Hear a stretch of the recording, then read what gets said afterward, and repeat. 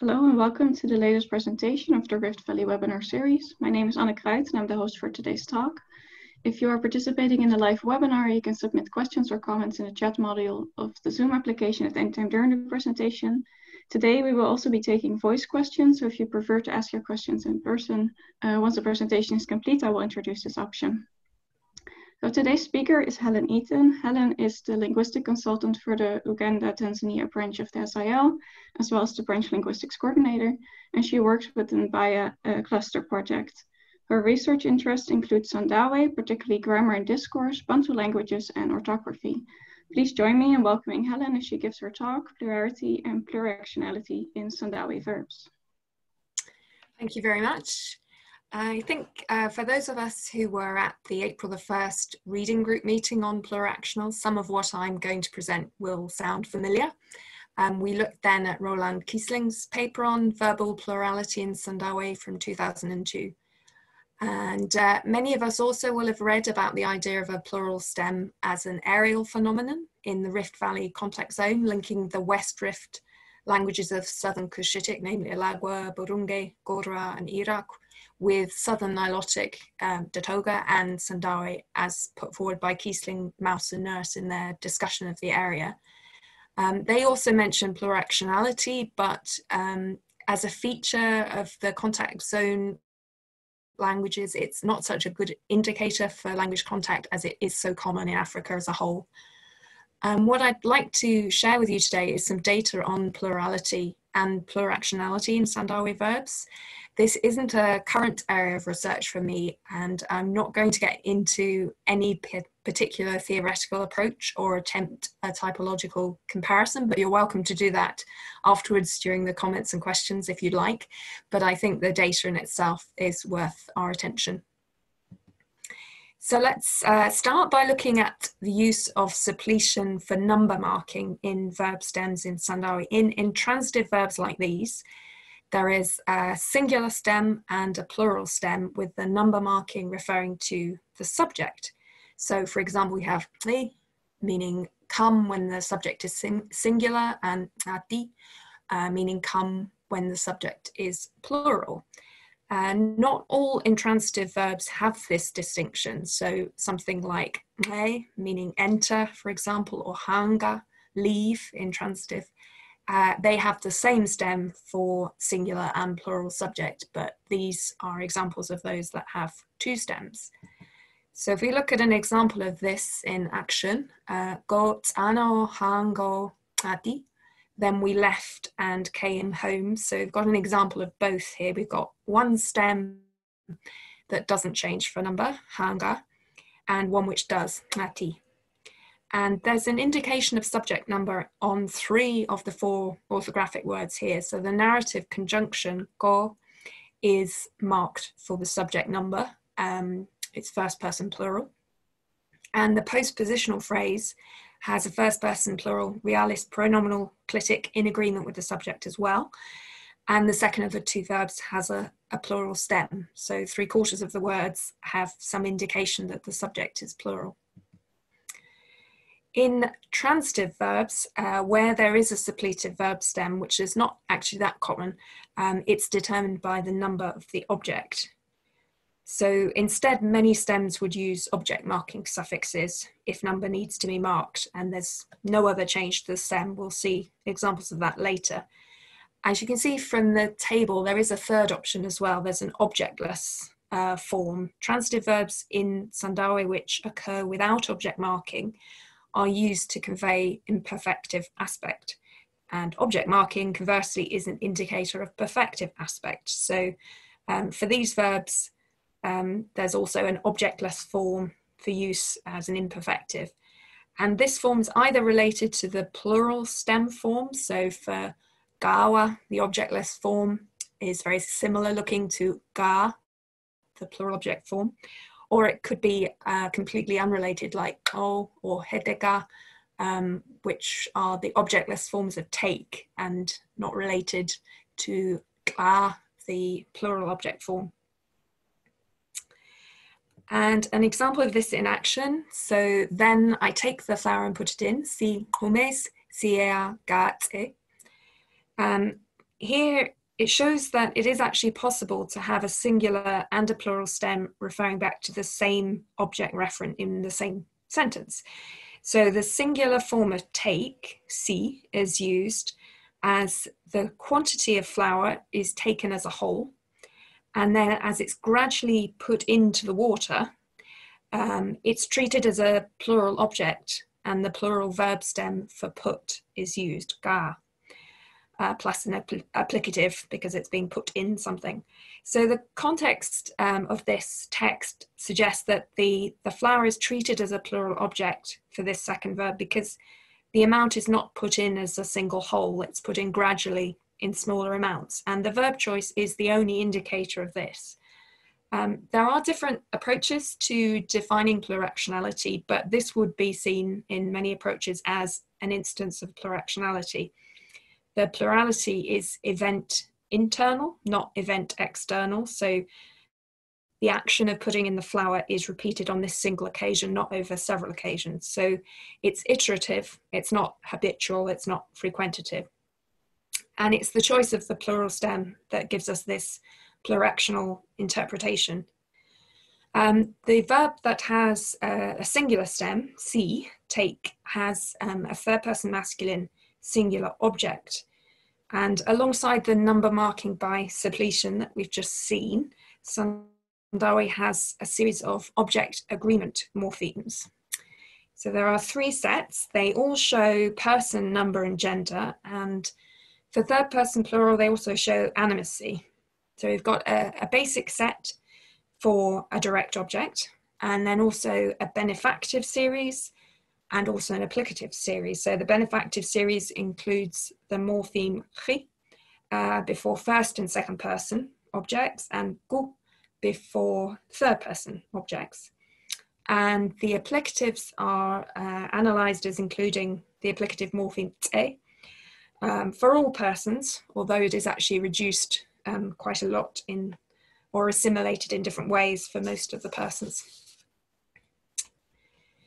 The uh, suppletive singular and plural stems for transitive verbs must have one of these object agreement morphemes, otherwise the objectless form would be used as we saw in the previous slides. So here in example three, we've got two examples of singular stems for take and throw, and each has a first person singular object. So, si se quang baharing dana take me and throw me into the sea. And maybe at this point, I should say something that for most languages would be taken as read, but uh, these object agreement uh, morphemes always suffix to the verb, not to another sentence constituent. There is flexibility in the position of the subject agreement clitics, like the second person plural imperative pronominal clitic here, que, and the first person singular realis pronominal clitic in the previous example, which was on the object. Um, but actually object morphemes in Sandawe behave um, in a more expected way and they're only suffixed to the verb. So before we uh, move on to look at more examples of object agreement, I'd just like to point out two morphemes in particular um, coloured red now in this table. They're formally similar and easily confused in surface verb forms because of vowel length and tonal phenomena but they are clearly distinct at the underlying level and they are functionally different. So we've got third person plural inanimate object agreement suffix wa, which has uh, a long vowel and high tone. And then contained with the third person plural, within the third person plural inanimate applicative, there's now a low toned wa um, with a short vowel, um, which I analyze as a pluractional morpheme, um, which we'll look at uh, more of shortly. The analysis of the applicative form is deriving from this pluractional morpheme plus a third person masculine singular object could lend support to the idea that the direct object morpheme wa with the long r is likewise made up of a pluractional plus a singular object. And this was a suggestion put to me by Ed Elderkin. And if that is the case, then there's been a complete uh, tonal reanalysis of the wa morpheme because it behaves tonally like a high tone morpheme rather than a combination of a low toned morpheme and high toned one. Going back to example three for a moment, the object morphemes here um, behave quite predictably. In general, the first person and second person object morphemes for both singular and plural act as expected when they're suffixed to different verb stems, whether it's to suppletive verb stems, which differ for, for number, like um, si, or um, to stems which only have one form. But the third person singular and plural forms are much less predictable. So here are some of those um, grouped into uh, uh, smaller groups according to their morphophonological behavior. Um, tonally, everything is as expected. There's nothing unusual, but segmentally, there's a lot uh, going on in these forms. So the first group is the simplest because um, the suffixation of the object morphemes here follows predictable behaviors. So uh, for the singular forms, the vowel is lengthened, the final vowel is lengthened when you add the third person masculine singular object morpheme and when the third person inanimate plural object morpheme is attached, there's no assimilation, um, just tonal issues going on, but nothing else. Uh, in the second group, the singular form is remains predictable, but the plural form is different. So wa becomes ma. And there's also sometimes some vowel changes you can see in bike becoming bikima and blomo becoming glomma Almost all the verbs in this group follow a particular tone melody, the low high tone melody, which is interesting. And another point of interest is the second pronunciation given there for um, the, the plural object form of leave, bikima. And this actually comes from an older speaker, um, bikimewa instead of bikima, which um, suggests that there may be a me morpheme uh, in this example and perhaps in the other examples which have a ma. Um, and this is a morpheme that's been analysed before um, by Dempwolff as an iterative morpheme, and we'll see some more examples of that one soon as well. And then we have a third group. Um, here the stems are all high high or low high, and they all end in a high toned e vowel. And they have a restricted um, set of consonants in the second uh, consonant position as well. And when the third person masculine singular object is suffixed to the stem, it's the first vowel and not the second, which is lengthened. So it's not time, it's time. And uh, when the plural object is suffixed, the second syllable of the stem is elided and a glottal stop precedes the object morpheme. So titwa for the first of those. And uh, in those group, in those verbs in this group which have the the me as the second syllable, um, once again we have something that may look like a separate morpheme, but this time it's in the singular form.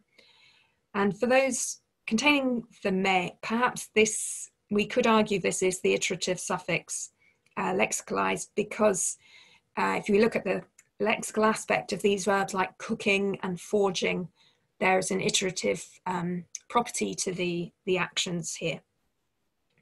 And finally, we have a fourth group, which contains monosyllabic stems with a final rising or high-toned e vowel, which would exhibit no changes if the third person masculine singular object e were attached and normal morphophonological processes occurred. So instead, we have a change of vowel to a, and there's some variation in the suffixation of the plural morpheme. Um, sometimes a glottal stop is added like the previous group, but it's also possible to have um, uh, reduplication, as in the last one, hide them, wah, wah, wah. And it's the R vowel, not the air vowel in all of those as well, which is interesting. So in the presentation of object marking so far, we've seen two morphemes that have turned up in some of the plural forms, the, the wa with a short low toned vowel and me so I'd like to look at those in a bit more detail now, starting with wa. And a common function of this morpheme is to indicate a plural subject, as in for. So The whiskers are heavy. Uh, without this morpheme, the sentence would be grammatically complete, um, but it would mean the whisker is heavy. So the verb to be heavy is not one that shows suppletion for subject number. So it could be have a singular subject or a plural subject. And the pluractional morpheme is the only indicator of plurality here. Um, the sentence is realis, and so it's understood with a present or past time reference, depending on the context. But there are no realis pronominal clitics here, as they have to go on non-subject constituents, and the only available one is the verb, and that would, um, putting the clitic there would give a polarity focused reading. Um, the whiskers are heavy, which would be undesirable in the discourse context. So instead you have a subject focused clitic on the subject NP. And this is only possible in realis sentences, so it in itself is also an indicator that it's realis. So the wa is doing the job of showing um, the subject number here. And I've glossed the morpheme as pluractional here because it, uh, it fits well with Newman's first definition of pluractionality, which I've given here. He said that he, he coined the term pluractional in order to set apart the semantically endowed verbal plural from the inflectional agreement stems. Although pluractional verbs sometimes relate to plurality of a nominal argument in the sentence, e.g. subject, direct object, even indirect object, the essential characteristic of such verbs is almost always plurality or multiplicity of the verb's action. So I think this fits well um, with what we have in Sandawe because um, there's a plurality or a multiplicity of the verb's action on this one occasion. It's not that one whisker is heavy on multiple habitual occasions, but that more than one whisker are heavy or is heavy on this single occasion. But as in example five, there are also occasions where the pluractional morpheme is used when a singular subject repeats an action. So here we've got, um, then again, hyena went to Dik-dik's house and stood around, and momewa is stood is understood as stand together with uh, another verb, go around, to, to stand around. And it makes it clear because of the polar pluractional morpheme that the standing around is repeated.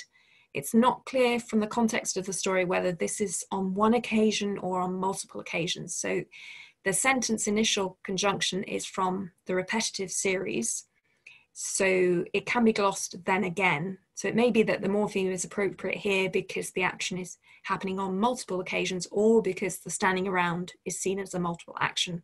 So I think either a habitual or a durative uh, interpretation is possible here. But there are other examples where a habitual interpretation is clearer.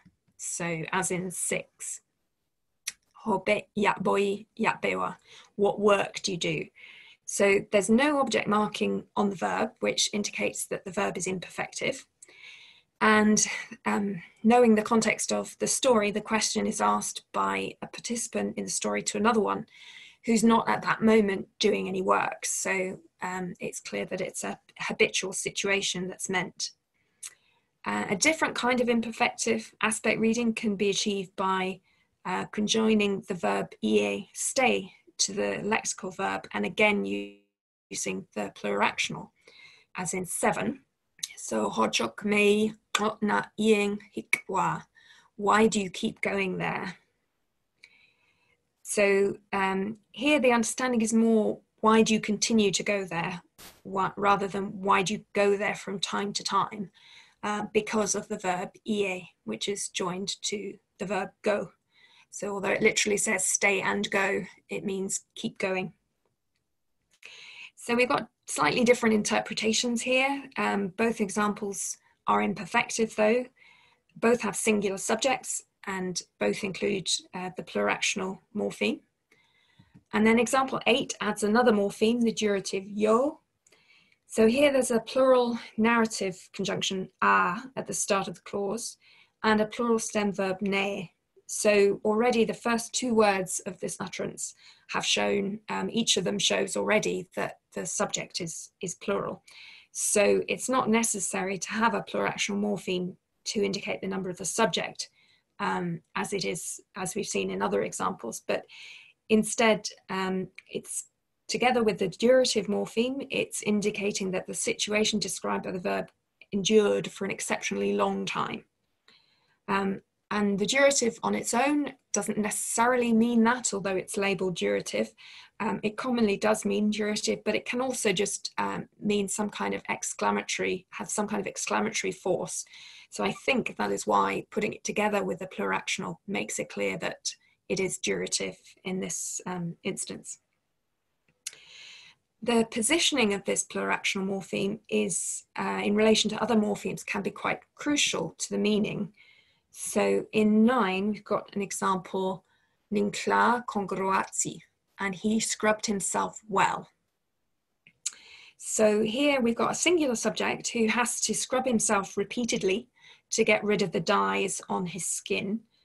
If the pluractional and reflexive morphemes, which occur in that order, are reversed, um, you would have a, a, grammatical sentence, but the meaning would be, and they, referring to the dyes, scrubbed themselves well, kongrutsiwa.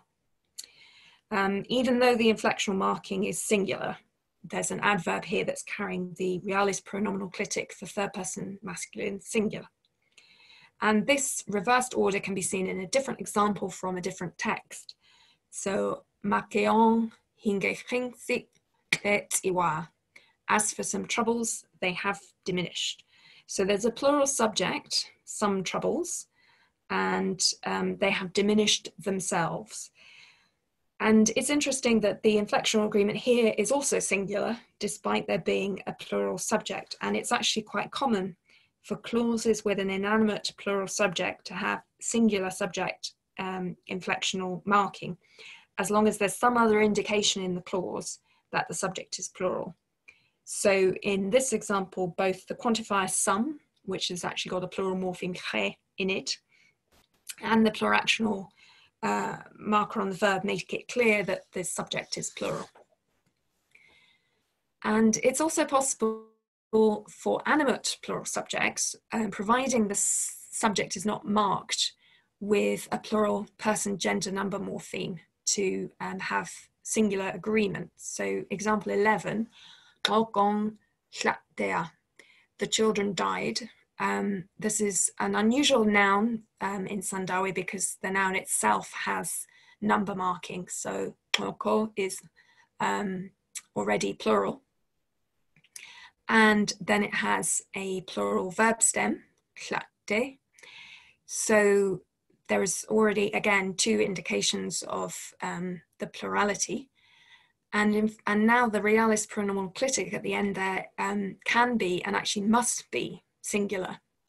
But we can contrast this with 12, where there's a person gender number marker, so uh, attached to the noun or gongso, um, which is possible but not necessary in this example and often occurs this kind of marking often occurs when there is a, a specificity morpheme as here but needn't if the noun is already um, inherently plural and now instead of the um, singular pronominal clitic we've got the plural one which is very similar um, but just has a glottal stop at the end ah instead of ah so let's come back now to the second morpheme, uh, which is less common in my texts. Um, it's me, and again, there's some kind of plural interpretation, it's clear. Um, we saw this in the transitive verbs with plural object marking earlier. Um, part of an earlier table is repeated here. So the second pronunciation of the plural object form of bike, bikimawa, suggests that um, there is possibly a me morpheme here. And this was analysed by uh, as an iterative suffix, which also conveys the meaning of intensiveness. And in some examples in my text corpus, it's very similar in meaning to the pluractional. So here in 13, ba, wa, de, tea, atia, akime, um, then many pigeons came and descended. So the grammatical subject here um, is singular, as you can see from the conjunction at the start is ba, which is singular rather than a, which would be plural. Um, but again, we've got um, a quantifier, which um, makes it clear that there's a plural subject. So we've got many. uh, and also the fact that we have a plural stem verb, come, happy, makes it clear. Um, and the second of the two verbs is suffixed with the iterative morpheme me. So the plurality of the subject is clear without it. So its function is not simply to, to help us understand that it's a plural subject, but perhaps this is an example of the kind of intensive meaning Dempwolff noticed. And it's not absolutely clear from the context of this narrative, but it seems likely that the iterative morpheme is encouraging the interpretation that pigeon after pigeon was coming and descending rather than a single group of pigeons descended en masse. Um, as well as being used with a, a, plural subject as here, we can also have an iterative suffix with a plural object. So the following are some interesting examples, illustrated ones this time, which show that there are quite interesting uh, nuances of meaning possible. So in 14, Bora itleng oronse. Um, a mouse has made a hole in a piece of clothing. So there's no plural marking of any kind on the verb. The verb stem itself is not marked for number. There are no number marking suffixes. The subject of the sentence is indicated by the subject focus clitic attached to the NP. And this has only one form. It doesn't differ according to whether the subject is singular or plural. Um, there's no number marking on either the subject or the object. So in the absence of any plural marking of any kind, it's understood as singular on all accounts. So a singular mouse has made a singular hole in a singular piece of clothing. And then in 15, the iterative suffix has been added directly after the verb and before the causative, and it's now pronounced oromse.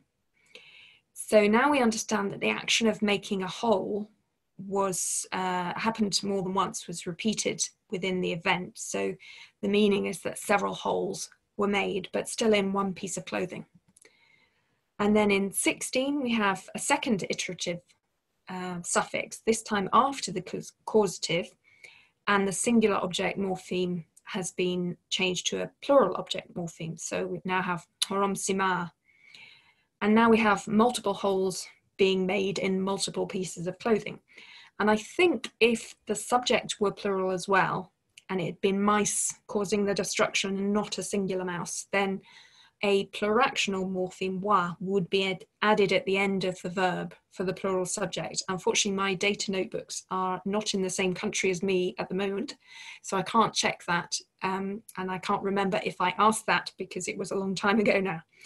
But um, what's interesting and what's clear is that the ordering of the two iterative morphemes is iconic. So the one closest to the verb modifies the verb itself from meaning the making of a single hole to the making of multiple holes. And then the second is further away and marks the plurality of the subject.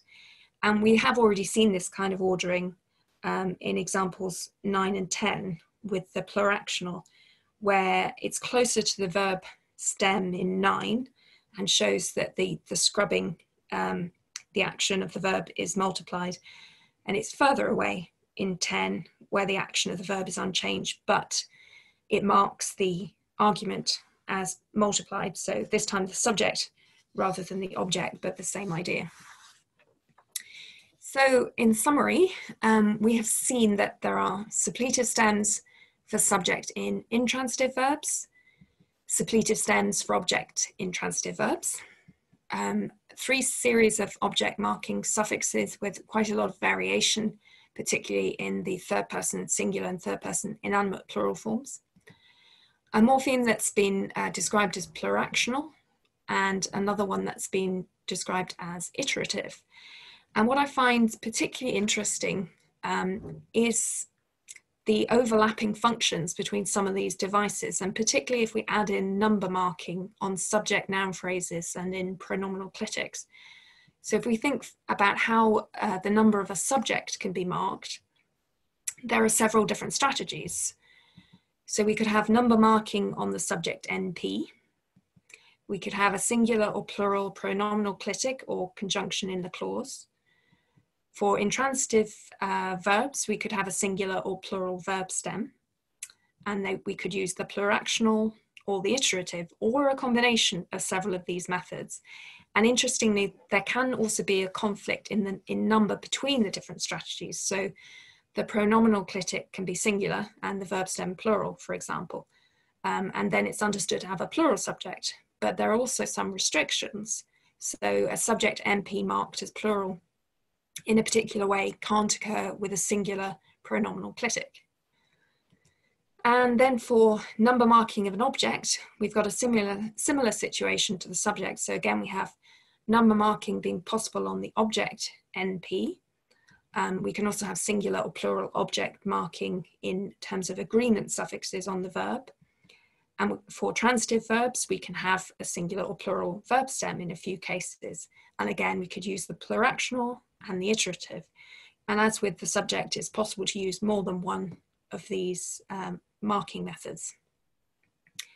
So to, to finish up with, there are a few areas of um, possible further research that um, this leads me to think about. One is um, to get more into the difference between pluractional and iterative morphemes. They often have similar functions, but they don't overlap entirely. So for example, I don't have examples of the iterative morpheme being used for habitual aspect, but I do for the pluractional one. We could also look at uh, lexical aspect and how that interacts with the different number marking devices. And then um, what's of particular interest to me is the idea of hierarchy and conflict. So the language has multiple devices. What's the hierarchy between them when they conflict? So a plural intransitive verb stem with singular inflectional marking, for example, is always understood as having a plural subject. So how many of the other devices can conflict and what's the interpretation when they do? Thanks very much for listening. Thank you very much, Helen, for this very interesting presentation, particularly so much interesting new data to, to look at.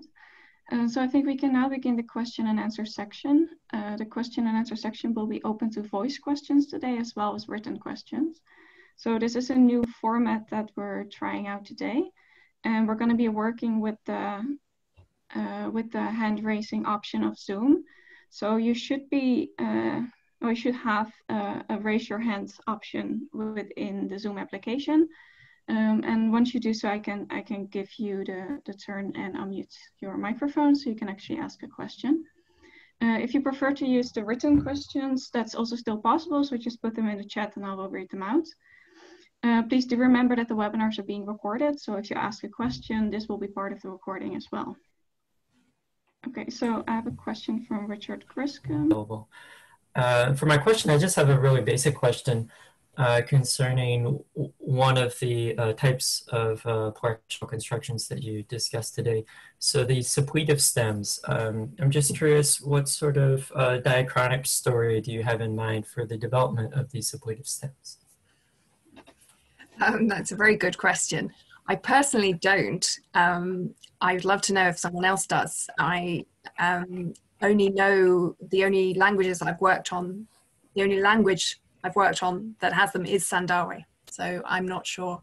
It's interesting with the ones that are um, uh, the intransitive ones, they do seem to be the most basic um, actions, living and dying and coming and going and then um, slightly more um, exotic verbs like limping and uh, crawling um, don't have this. I can see Bonnie saying um, they're quite common in Southern African Khoisan. Yes, I've also seen, uh, just a quick comment, um, at least one verb comes to mind in, uh, in Toga. So uh, the verb to run, there's um, uh, forms for the, the number of the subject. Mm -hmm. Okay. Yeah. Yeah, uh, thank you. All right, thank you, Richard. Then I have a question from Martin. He um, he says, fascinating. Is it possible to use a pluractional on a plural sup, uh, suppletive stem? Um, there's the the newa, so the um, to live, and then the the wa. Um, yes, um, but I'm I've been trying. I saw that question. I've been trying to think if I can think of other examples. Um, my my impression would be that it, my guess would be that you could because because of its use for habitual aspect. So apart from the example of the Newayo, for they lived a long time, Um, I, I think newa would also be possible. Um, and if, if you uh, were running habitually, tawa, girboiwa, yeah, I, I think that's possible. It's certainly possible in the newa. Marta then goes on to say your imagined example with the mice indicated uh, by pluractionality wa uh, would be pluractional on a uh, transitive verb, but referring to the subject. Is that correct? Yes, that would be. Um, I think that's how it works because um, with the example of working, um, you can put the pluractional on on work for again working habitually. So I I'm this this wa that I've given the label pluractional. I'm very uncertain on what it should really be called. And I um, certainly in the grammar that I wrote, I put, uh, I called it multiple because I was sitting on the fence and possibly because I hadn't heard of pluractional as a term at the time. Um, because it, it is often used for the equivalent of habitual aspect um, or for habitual aspect, but I guess um, there are other cases where it's used for plural subject like the um, the heavy whiskers. So it, it's multifunctional. And we'll finish with the last comment from Marta. It's just suppletive pluractional have very often indeed die among them. So okay, right. And with that, I see that Andrew has raised his hand, so I'll ask him to unmute. Hi, Helen. Thanks for uh, the talk. I think the data is just incredibly nuanced. I think from a from a phonological perspective, but also um, in terms of the semantics that come out, it's really interesting. Um, I, I guess my question specifically is: Is there any sort of story for for where the iterative ma or the pluractional wa morphemes come from? Like, is there any evidence for a verb or an adverb in Sandawe being related to these morphemes? Or is there any evidence that this or like a form like it is found in, in, in wider Khoisan? Um, I think Bonnie should answer that one in the chat box. Um, but apart from that, um, it, they're very interesting, um, Me and Wa, because uh, they're not very Sandawe like. Um, it's not very Sandawe like, although there are more multisyllabic words generally in Sandawe. A lot of verbs are monosyllabic, um, but there isn't a me or a wa verb. Um, and uh, to me, it's quite interesting as well that the verbs that act um, as uh, as if they are monomorphemic in some ways, like time for cook, um, you you realize they're not when you do certain things to them and and they become tiwa or cook them and not timewa um, mm. so they seem quite um, quite well established as um, suffixes and yeah uh, and but it's not yeah it's not clear to me where they could come from i don't know if um, there are other theories on it from other languages but just just the me and wa as syllables, they don't really seem particularly Sandawe like. Thank you. If that's all from Andrew, I'm gonna, uh, Bonnie, I think, wants to jump in. I was just going to say we have a may morpheme in Hadza, which actually attaches to nouns, but it does have a sort of plural function. So if you say Bonnie may be, be being the feminine plural, this would be Bonnie and her people the may ah. associational morpheme. So it does sort of have a similarity, at least in yeah. that. Okay, oh, that's interesting. Yeah, the the Sandawe equivalent is the chi, which I was um, thought of as the akina suffix um, from from Swahili, but um, that chi is interesting because it's also um, in the benefactive objects, but it's more um, you find it in plural demonstratives um, and also you can say Helen for Helen and her crew. Um, uh-huh. So it's a similar, yeah, but uh, it's interesting that there's May there. Hmm. yeah. And I have looked for possible cognates among the suppletive forms in, in Khoisan, but it's it is hard because we, you know, as uh, in the Güldemann and Elderkin paper, looking for Sandawe sound correspondences with Khoe, uh, you just, it, yeah, it's just hard. So just to give an example with the to die verb in, in the Dui dictionary, the to die word also means to be broken. So when you've got a lot of polysemy like that, uh, you're not even sure that you're really comparing the same Mm-hmm. root. Yeah, okay, yeah. So even though there are suppletives there, they you, you would hope that you could find something like an I me sort of suppletion that's common over uh, Indo-European, but it's it's not quite so easy. As that, but I agree with uh, Martin's comment that the to die verb often has a suppletive. hmm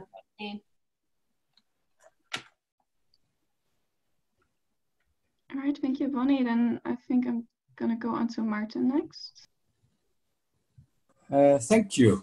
Uh, yeah, it's uh, it's getting used to this chat plus plus raising hands. So I want to go back to uh, to the discussion uh, a few minutes ago. Well, maybe then I'll ask, uh, start with the last thing. The ime is also ime in Sandawe, and Roland makes the remark that that is very similar to the durative im in West Rift.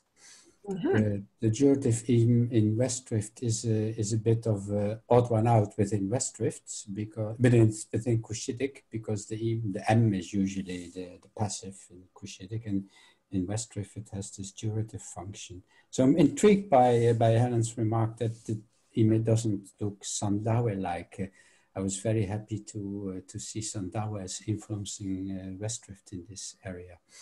I have to rethink that. Um, I asked about uh, the pluractional on the pluractional because in, so, in a number of languages where it is possible to, to stack pluractionals, the double pluractional marking means uh, a bit a bit of plural. um, um, but but maybe indeed you had your doubts on, on the on the terminology because this this pluractional wa is a is is, if I understand it correctly, then also different from the suppletive uh, pluractional marking in the sense that suppletive is always, um, well, uh, a plural subject if only if, if the verb is intransitive, whereas this Mhm. pluractional wa could refer to the subject even if the verb is, is transitive. So, Yeah, I mean that's the I've just uh, gone back to that slide. Um, so there's a wa in the um, what work do you do? Um, repeating the work. Um, Yeah. And then in eight, the the plural stem ne for live with with the wa as well. Um, which I feel like I've seen that one not just because of the yo as well on it, the durative, but I feel like newa is um, is common, but it could just be because it's a common thing to ask about where do you live, um, where do you stay. Uh, It's it's a kind of in conversation it would come up um, as a habitual maybe. Yes, yes. Is it the case that uh, Roland calls the iterative pluractional and the your wa uh, plural? Um, I would have to check back, but I think yeah, we don't have this. Well, we don't have the same terms because I'm not quite sure. Um, I'm not sure if he's here to answer that himself, but um, because there's also a, a wa which is a plural object, and I think at least in some examples, some things I've read, he um, talked about the plural object wa um, together with what I called the pluractional wa, whereas I've separated them. But as you can see from what I uh, mentioned from Ed El- Elderkin on that, Yeah. it is possible that yeah, it's it's related, um, but I've just kept them apart um, to keep it clearer for for my mind at least. Yeah, no, rightly so. Yeah. All right, then uh, I think Andrew has another question. Yeah, returning to the uh, the iterative morpheme m and its uh, and and the similar well durative or habitual uh, im morpheme in West Rift. I mean, I I, I find that a really striking um, uh, parallel between the two morphemes. I also noticed in one of your examples uh, there was this uh, there was the iterative morpheme me, and there was a causative morpheme uh, that was marked in uh, S in one of your examples. I believe it was the the mouse making mouse, the hole yeah. in the clothes. I found that really striking as well because uh, as well as this M uh, in Sandawe corresponding with uh, th- so this iterative M corresponding with a durative or habitual M in Cushitic or in West Rift. Um, the the the West Rift uh, causative is also S. Uh, so if we see, uh, and also when we when we put them together, the the M morpheme uh, in Cushitic, we see this durative uh, or habitual morpheme will always stick closer to the verb root than the causative, and we see the exact same pattern here Okay. in uh, Sandawe. Yeah, I mean, it's interesting that, that what I'd say in 15, orang mese um, becomes horomse, so that the me is, is just a syllabic m. Um, uh, so, or a tone bearing m at least, horomse. So that's, um, yeah, I mean, I, I believe that's still the me in there, but it's not even pronounced like that. And I, it's interesting what, what you were saying about the im um, because the I was just going back to it, but the I had the the pronunciation of bike um, with the plural form of um, biki mewa, um, not bike mewa. Um, I have wondered about that. why why it's not um, bikemewa or bikema? What is the e before the m there? So um, that's interesting. Thank you. And then I see there's a comment in the chat from Christian who says, for what it's worth, um, in Khoekhoe Namadara, uh, ma means to stand. Okay.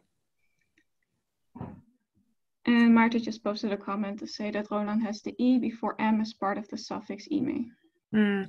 I apart from the bikimewa, I I don't have examples where it, it's clearly there. I have some examples where the verb ends in that vowel anyway, so you wouldn't be able to tell.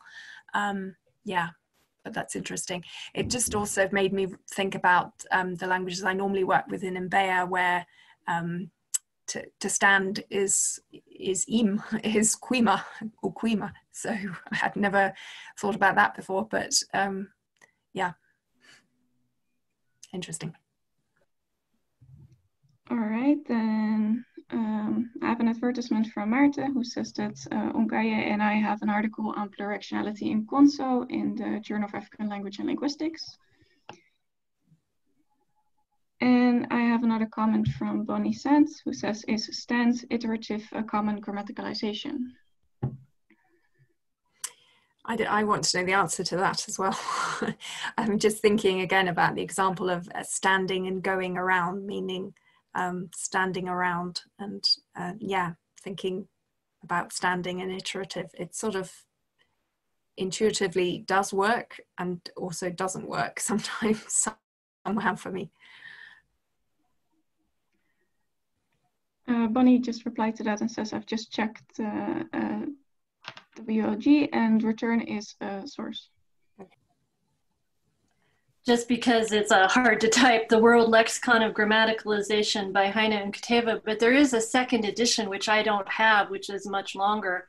So I, I think that might be worth looking up and see if there are other examples of where iteratives may have come from.